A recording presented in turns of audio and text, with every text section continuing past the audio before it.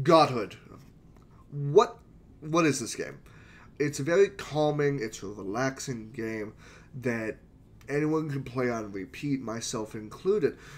Quick summary you play as a true god, trying to gain more followers by converting heretics. How do you convert these heretics? You convert them through battle, where the only thing you can do is choose which of your disciples go into said battle. Gain enough followers, and you'll learn the truth. What is the truth? I can't say for spoiler reasons. I will say, I enjoy the game. It's fun. Is there anything wrong with it? Not really. I have one complaint, and this is a personal complaint, uh, and it probably has an easy solution. Uh, my scroll wheel's busted, and there's no way for me to zoom in or out.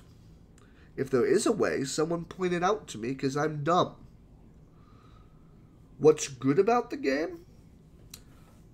That's that's a that's a weird one for me, uh, because it's just fun for fun's sake. I can just disconnect from the world around me, or I can disconnect from the game.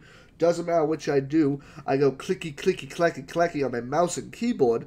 I did a thing. Look up, realize I did a thing, and and yeah, it's benefited my people somehow.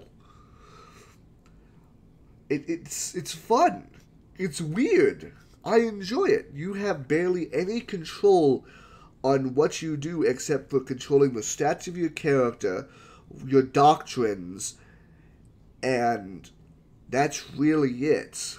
Stats, doctrines, and combat to a point, which is just disciple A, B, and C. That's it.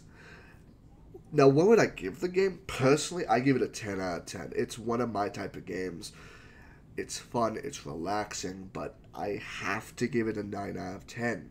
And the reason why I give it a 9 out of 10 professionally is because it's not everyone's cup of tea, and no game is truly perfect. I know this, but give it a shot.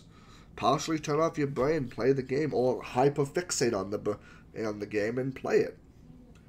You have options. Enjoy it. Have fun. If you don't like it within the first hour, stop playing, try to return it. But God says you won't.